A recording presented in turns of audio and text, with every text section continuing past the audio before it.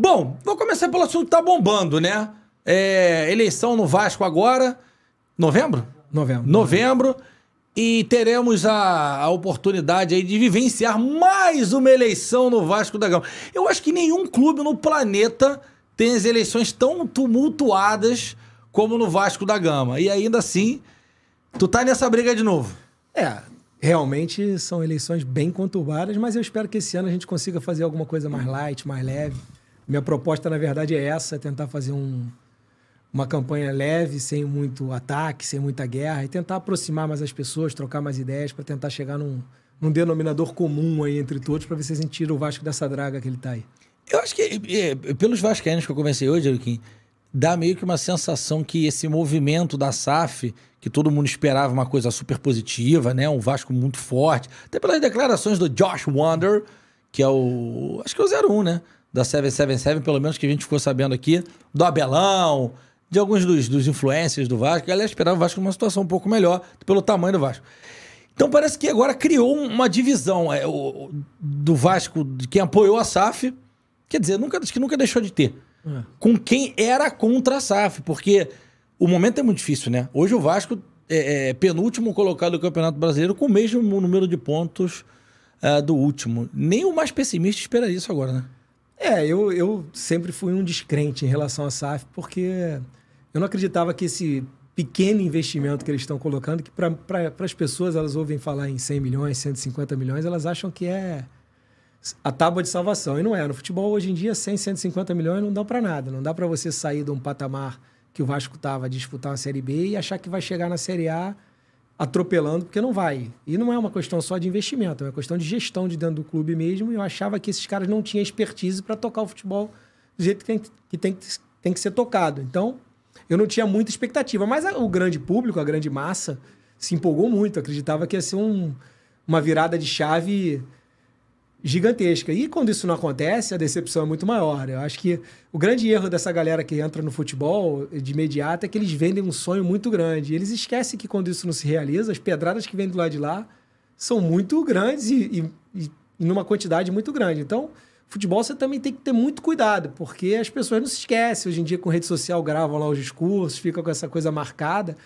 Então, quando você promete entregar muito, você vai ser cobrado para entregar muito, né? Então, eles, estão, eles vão ser cobrados porque eles elevaram demais o patamar que eles. Eles tinham que ter chegado devagar, ó, vamos tentar devagarinho, construir e tal. Chegaram já chutando a bola para o alto e agora vão ser cobrados nessa, nessa, nesse mesmo nível. É, a gente está todo dia lá no Donos da Bola, meio-dia, né? E, e, naturalmente a gente fala muito dos clubes do Rio. Né? E a gente está com uma força muito grande no digital também, é um trabalho muito maneiro que a Band Rio vem fazendo agora na gestão do André Marini, do Márcio Melli, que já está lá há algum tempo é, mas é que é fortalecer o digital, porque não tem como fazer diferente. Então a gente tem muita mensagem, mas muita mensagem todo dia. E eu acho que o a principal dor hoje, Euriquinho, opinião, tá? De quem tá de fora ali, porque não, né? É que o discurso do é o último Flamengo emblemático, né? Discursos que entram para a história. Nosso quadro, discursos que entram para a história ou flopam.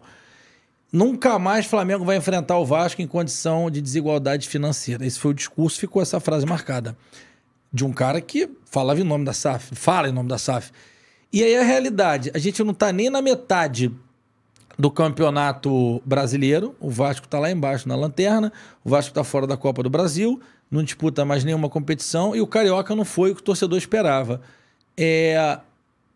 Havia essa possibilidade, você conhece o Vasco há muito tempo, de em tão pouco tempo, mesmo com o aporte financeiro que foi prometido do Vasco é, em um ano, tá nessa potência financeira? Ou, ou, você acha que esse discurso sempre foi meio que. Vamos botar populista, vai? Eu acho que não é nem questão de ser um discurso populista. Eu acho que é um discurso de quem não conhece futebol, de quem conhece muito pouco de futebol.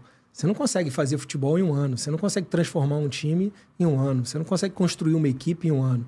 Não é só questão de dinheiro. Você pode ter todo o dinheiro do mundo que você não vai concorrer com igualdade de condições com um time que já vem sendo formado ao longo de muitos anos. Isso é, isso é uma questão que tem no, qualquer clube do mundo vai passar por um período de adaptação para chegar num nível de disputar todos os campeonatos, de ganhar todos os campeonatos.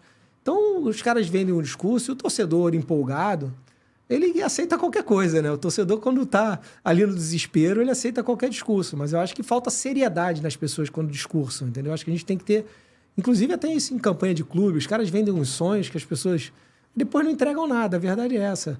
99% das coisas que as pessoas prometem, elas não entregam, mas o torcedor se empolga e quer eu tô no, exatamente a minha proposta é totalmente diferente dessa, é fazer um discurso sério que você possa entregar.